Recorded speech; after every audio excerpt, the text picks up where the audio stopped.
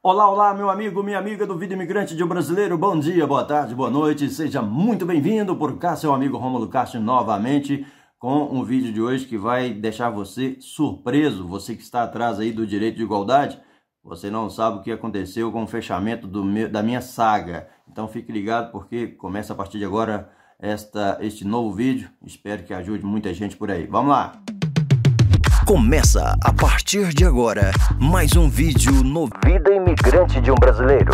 Gosta do canal? Então contribua assistindo aos vídeos publicitários, compartilhando, se inscrevendo, dando seu like e comentando nosso conteúdo. Aperte os cintos e boa viagem! Então, moçada, é o seguinte. É, como todos sabem, eu estava aí atrás da minha, da minha, do meu direito de igualdade, né?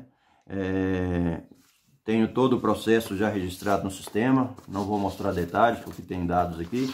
Então aqui está todo, todo o formulário é, enviado pelo correio, é, pela Conservatória dos Registros, Registros Centrais de Lisboa, IRN, e com esses dados eu é, deveria procurar a loja é, do cidadão. É, hoje com a pandemia a loja do cidadão que está fazendo o atendimento a respeito do direito de igualdade. Não adianta ir, na, ir nas conservatórias, tá certo? Então, fiz o processo, vocês viram aí no último vídeo. É, fui lá sem poder, porque meu tempo aqui é escasso, e dei entrada no processo. E como está tendo todo o atendimento público aqui em Portugal, está sendo feito através de agendamento, eles me agendaram para ir lá para fazer a confecção do cartão somente dia 29 de junho. Muito longe, eu não tenho, não tenho essa, essa, essa possibilidade de, de estar aqui no dia 29 de junho. É, agora, dia 29 de abril, ah, termina minha quarentena, todos sabem. Já vou voltar para o trecho. Estarei trabalhando somente agora na Espanha, da Espanha para a Inglaterra então não estarei aqui provavelmente nessa data que foi marcada. Então me disseram que se eu providenciasse uma carta de urgência emitida pela empresa onde eu trabalho, que eu vou trabalhar, eles é, me passariam na frente. Então foi o que eu fiz. Entrei em contato com a empresa, solicitei essa carta, me mandaram a carta e eu apresentei a carta lá no, na loja do cidadão das Laranjeiras, que é a loja do cidadão mais próxima aqui de onde eu estou, na estrada do Benfica. Chegando lá, me passaram na frente, né, como foi dito, por causa da, da, da, da, da carta de urgência. Fui muito bem atendido por uma senhora e depois por, pelo chefe da repartição. É, foi dada entrada no, no, pedido da confecção do, do, do cartão de, de, direito de igualdade. Ela pegou esse meu processo, é, pegou o meu título de residência, que é novo, certo? É, esse título de residência, o cartão é, com a nova validade, chegou para mim em janeiro. Eu já tinha feito o pedido da renovação antes de eu ir para, para o Brasil, mas se não me engano foi em dezembro. Chegou rápido, chegou rápido. Então já chegou, é o novo modelo da autorização de residência.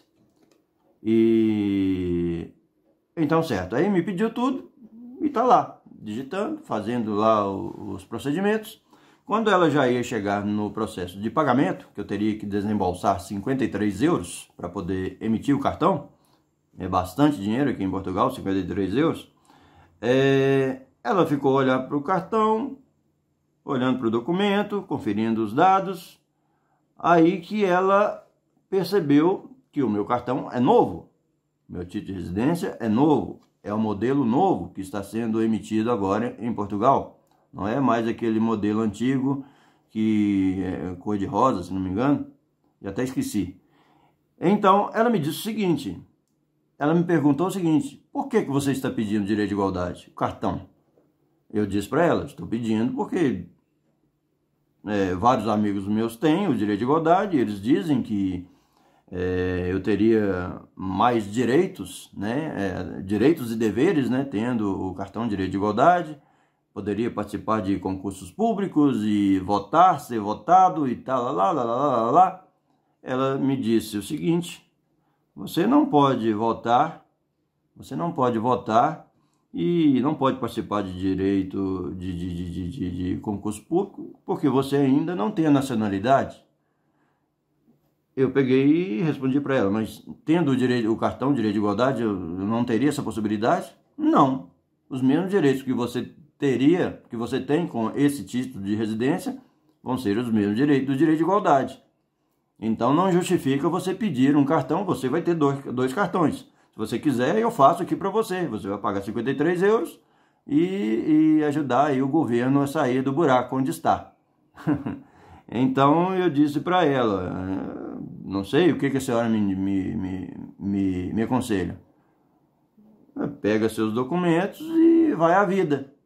Porque você já tem o seu direito de igualdade. O seu direito de igualdade. O seu cartão é modelo novo.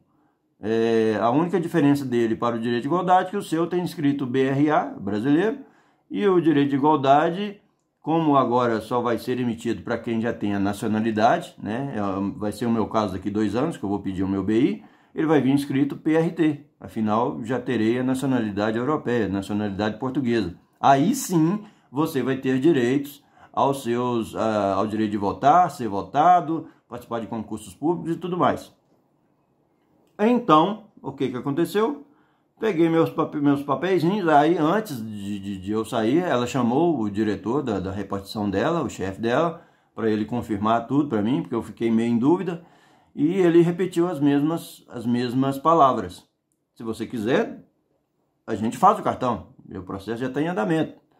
Mas não tem necessidade, você já tem na mão, você vai ficar com dois cartões com a mesma utilidade. Diferença que um você vai ter que gastar 53 euros. Como eu não estou podendo me dar ao luxo de ficar debaixo da cama e, e gastar dinheiro sem poder, eu preferi não fazer o pedido, mas poderia ter feito. Aí muitos aí né? É, a internet está cheia de sabidões, de sabichões, né? Especialistas nisso e naquilo. Às vezes a pessoa nem aqui está, está do outro lado do mundo, mas está dando, dando pitacos é, é, é informações aqui da, da, da, da, da Europa.